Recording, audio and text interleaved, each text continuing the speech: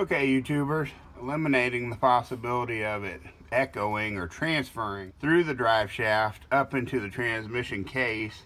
They pulled the drive shaft out of the back of the T5, drained fluid out of the T5.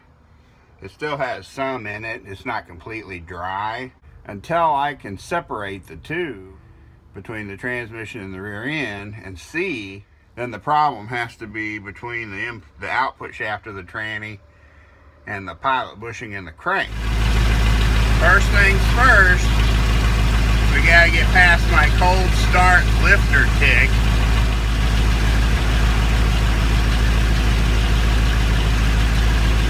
I mean, I feel normal engine, you know, I'd call it normal engine vibration. I can feel like a roughness or some kind of a vibration right here in the back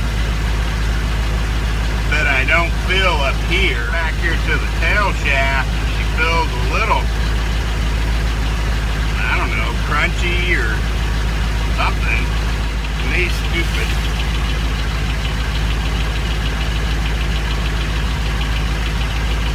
Everything seems smooth in the middle. Like there's absolutely no there's no... Now keep in mind, the transmission is not under load. I do not hear anything. Now here's what we're going to try next. Previously, with the drive shaft installed, when you came up above idle, for sure between around 1300 and 1600 RPMs, uh, there was a distinct driveline vibration.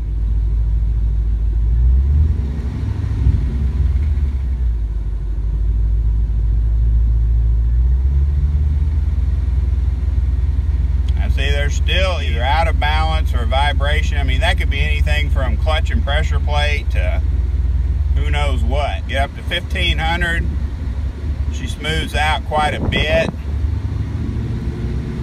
By 1800, it's gone. Smooth as silk. See, like right there, about 1200, you can see the camera start to shake. And then it'll slightly get worse slightly get worse. Trying to go slow, guys. Now she'll start to settle back in.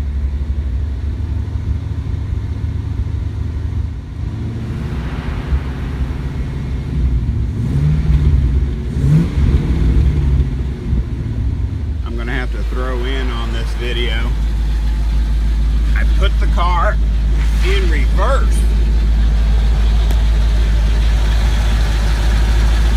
off my video, trying to do my wrap up, I put the car in reverse,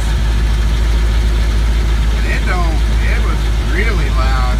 When I first let out on the clutch, he was a roaring, I'm talking about scratchy, roaring, loud, kind of had some weird ticking, like, I don't know, it's hard to explain. If I'd have known it was potential it could do that, I would have had the stupid camera under here when I put it in reverse. I'm going to say it's crunchiness or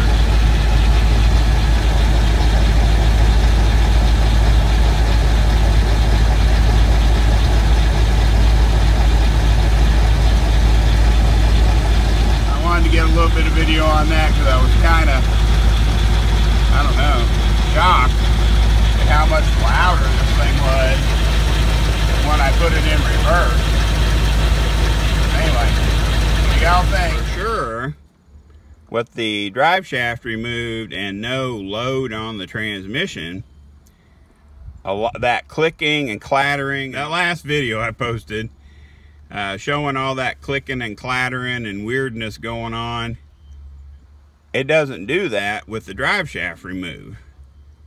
Now I do still have issues with the uh, slight vibration coming, you know, between the engine and transmission, between that 1200 and 15, 1600 RPMs that clears out with a little bit of RPM. So that part of it doesn't concern me near as much as the severe vibration it gets when it's under load. Anyway, appreciate you guys watching. That's where I'm at, trying to figure out what the heck I'm gonna do.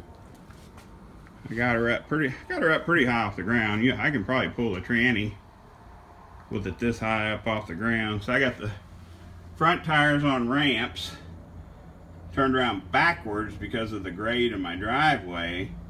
That way when I'm putting it on the heavy duty 6 ton or 12 ton or whatever the hell those big jack stands are in the back, I don't have to worry about them rolling off of these things. So, and of course I just put the jack under there as a extra precaution so I don't end up pancake. Hey, thanks again for watching guys. I just wanted to give you a little update on my process of trying to figure out what's going on with this dang turd.